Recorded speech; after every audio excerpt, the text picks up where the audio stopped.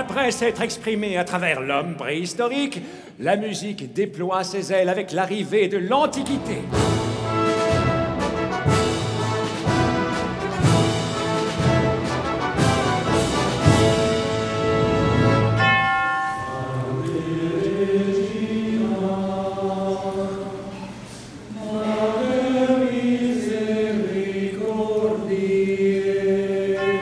Après toute la noirceur du Moyen Âge, Renaissance.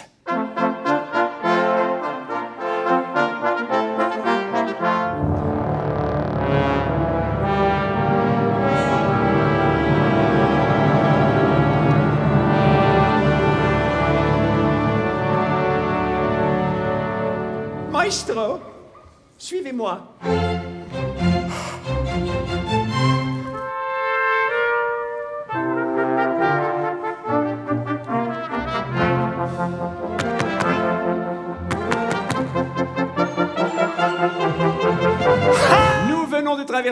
L'époque baroque et le classicisme. Place à l'opéra.